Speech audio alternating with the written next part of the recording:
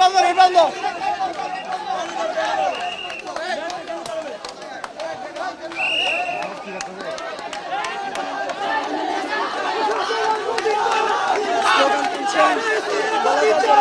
আমার স্নেহাস্পদ ছাত্রছাত্রীবৃন্দ, আজকে যে ঘটনাটা ঘটেছে, আপনারা যে আপনাদের একজন বোনের বিচার চেয়ে আজকে এখানে সমবেত হয়েছেন, সেটার জন্য আমি প্রথমেই শ্রদ্ধা জানাই।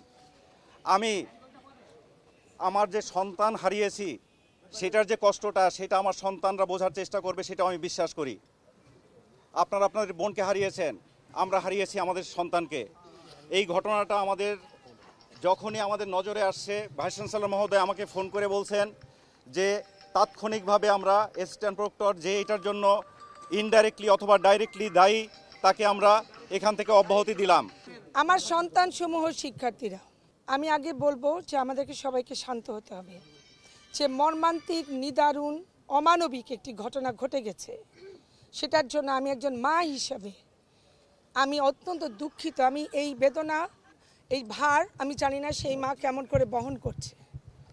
তোমরা শিক্ষার্থী হয়ে আসো প্রত্যেকটি বিশ্ববিদ্যালয় বিদ্যাপীঠে যেখানে আমাদের দায়িত্ব শিক্ষক হিসাবে, আমি শুধু একজন উপাচার্য হিসাবে কথা বলছি না, আমি একজন শিক্ষক।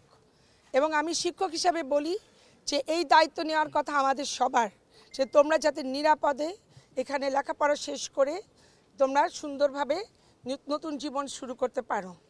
কিন্তু অতি একটি দুঃখজনক ঘটনা যেটা সোশ্যাল মিডিয়ার মাধ্যমে অবগত হয়েছি যে যে ছাত্রীটি তার নিজের জীবন নিয়ে নিয়েছে এবং সে তার কারণগুলি পরিষ্কার করে বলে গেছে। আমি দায়িত্ব নিয়েছি নভেম্বর মাসের তিরিশ তারিখের অপরাহ্নে। আজকে হচ্ছে মার্চ মাস এবং আজকে কি? আজকে পনেরো তারিখ, শেষ হয়ে যাচ্ছে ষোলো। ষোলো তারিখ। আমি এই কদিনের মধ্যে যা যা করা, বিশেষ করে শিক্ষার্থীদের নিরাপত্তার খাতিরে, সেটা আমি করার চেষ্টা করছি। বিশেষ করে সারা বাংলাদেশে যদি আমাকে এক নামে চিনে, একটা বড় কারণে চিনে, সেটা হচ্ছে যে আমি কোনো ধরনের যৌন হয়রানি আমি বরদাস্ত করি না। আমার কেন তো যেটা আছে, সেটা আমি অবশ্যই ডিল করি এবং আমি অত্যন্ত স্ট্রিক্টলি ডিল করি।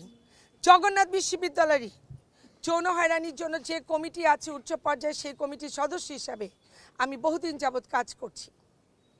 এবং এই বর্তমান সিন্ডিকেটে যে কয়টি যৌন হয়রানি তদন্ত কমিটি শেষ হয়েছে প্রত্যেকটির আমি সুরাহা করব। এবং সেই সুরাহা তোমরা দেখবে আমি কতটি কঠোর অবস- অবস্থান আমি নিব। আজকে যে ঘটনা ঘটেছে যেটা কিনা আমি এখনও জানি না সেই রিপোর্ট কোথায়। আমাকে বর্তমানে যিনি প্রক্টর তাকে আমি জানা মাত্র বলেছি যে সেই মেয়েটি বলেছে যে সে একটি কমপ্লেন দিয়েছিল। তাহলে সেই কমপ্লেনের রেকর্ড কোথায়? সেই কমপ্লেনের রেকর্ড তো আমাকে দেয়া হয়নি। তোমরা কি মনে করো বিশ্বাস করতে পারো যে আমি কমপ্লেনের রিপোর্ট পাওয়ার আমি বসে থাকব? আমি সেই ধরনের। সেই অ্যাসিস্ট্যান্ট প্রক্টর তাকে জগন্নাথ বিশ্ববিদ্যালয় কিন্তু আমাদের প্রত্যেকটি পাবলিক বিশ্ববিদ্যালয় তোমরা জানো যে আমরা একটা আইনের মধ্যে দিয়ে চলি। সেই আইনে একটা উপাচার্যের যে ক্ষমতা, তোমরা বলছো আমি কেন আসলাম এখন? আমি এতক্ষণ লং টার্ম আমি ইন্টারভিউ দিয়েছি। তাদেরকে আমাকে ব্যাখ্যা করতে হয়েছে সাংবাদিকদের যে আমি কোন ক্ষমতা বলে। তোমরা যেমন চাচ্ছ তাকে সাময়িক বরখাস্ত কেমন করে করব বা পুরা বহিষ্কার করতে পারব কি না এই প্রশ্নটা তোমরা আমাদের ট্রেজারকে করেছ। আমি এখানে পরিষ্কার বলতে চাই আমি সেটার জন্য আমি আইন আমাকে পড়তে হয়েছে, আইনজ্ঞর সাথে আলোচনা করতে হয়েছে। প্রত্যেকটি বিশ্ববিদ্যালয় আইন দিয়ে চলে। আজকে ঢাকা বিশ্ববিদ্যালয় দেখো, যেখানে আমি শিক্ষকতা করতাম, আমি এখানে এসেছি তোমাদের উপাচার্য হয়ে, তোমাদের অভিভাবক হয়ে।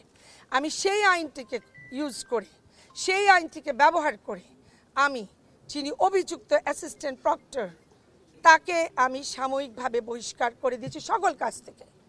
যতক্ষণ কিনা আমি তদন্ত কমিটির রিপোর্ট পাবো, সেটা অতি দ্রুততম সময় সেটা হবে, সেটার সাপেক্ষে তাকে আমরা পুরোপুরি এখান থেকে চলে যেতে বলতে পারি।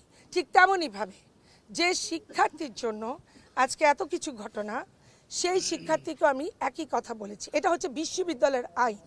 কিন্তু এটাও তোমরা জেনে রেখো যে আমাকে অবহিত করা হয়েছে যে যারা আইন শৃঙ্খলা বাহিনী আছেন তাদের অগোচরে কিন্তু কোনো ঘটনা এখানে ঘটছে না। আমরা কে কি আছি, কে কি বলছি, কার হাতে কয়টা মোবাইল, তারা সব কিছু জানেন তারা অবহিত এখন এই মুহূর্তে আমি কি বলছি সেটা ন্যাশনালি এয়ারে যাচ্ছে। তারা সেই মোতাবেক অতি সত্তরই তারা ব্যবস্থা নিচ্ছে। তারা সেটা আমাকে জানিয়েছে এখানে ঢুকার পরপরই। সেহেতু আমাদেরকে কিছুক্ষণের জন্য হলেও আস্থা রাখতে হবে। সে আস্থা রাখতে হবে সেই রিপোর্টটি আমি আমাকে নিশ্চয়ই এটা দেয়া হবে। প্রক্টর অফিসে যদি থেকে থাকে, আমি জানি না। কেননা নতুন তোমরা জানো পাঁচজন প্রক্টর এসছেন। এক নাম্বার সহ বাকি যারা আছেন, তারা পুরানো, যারা ছিলেন, তাদের মধ্যেও কিছু কিছু আছে।